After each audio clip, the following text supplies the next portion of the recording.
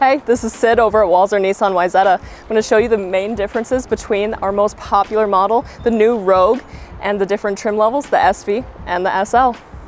Starting with the SV, we have heated outside mirrors, this gray metallic paint, and we have our 18 inch alloy wheels. Keyless entry from your key fob, and some similarities between the SV and the SL. The engine's gonna stay the same, and it is all-wheel drive. Moving on to our SL, we have a few different exterior styling. We have our 19 inch alloy wheels with a little bit of a different pattern. And you can see these right here. You have sonar system with safety features. Comes with a Nissan 360. And over here you can see you have your, your camera on the side mirror right here. And you can have this different chrome trim right here. One of my favorite add-ons with this SL is the hands-free lift gate. So if you're carrying groceries, carrying a kid, you can just kick right underneath the bumper and it'll open. Let's take a look at the cargo area. You can see you have two different panes right here that you can adjust for depth. Here, you have your spare tire underneath both of those, and then you have a couple of extra space compartments on the sides. So let's close this up, and we'll take a look at the standard features that come on the SV.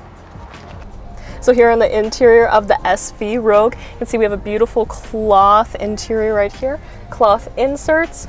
On your steering wheel, you have your different controls for your menu on your LCD screen up here.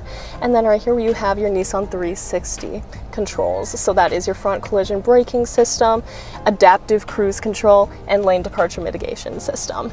Over here you have your push button start. This vehicle does come equipped with remote start also and Apple CarPlay and Android Auto. Let's hop over to the SL. So here in the SL, one of the big differences, as you can see, is your leather interior.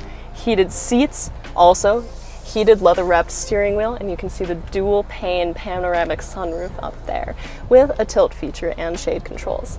Over here you have the same thing as the SV with your menu controls right here, but you have a much bigger color display screen right here. This vehicle also comes equipped with wireless Apple CarPlay. Down here you can see we have your different drive modes depending on your mood. Feeling a little sporty or you want to save some gas or you're driving through the snow, there is a mode for all of those. Let's take a look at the back. Here's the back seat of the Rogue SL. You can see I have plenty of room. I am a tall person. And here is some shades on the side for your mirrors. And that was just a few differences between the SV and the SL. If you would like to learn more or you want to take a test drive in one of these beautiful vehicles, give us a call at Walser Nissan Wayzata. My name is Sid again, and thank you for watching.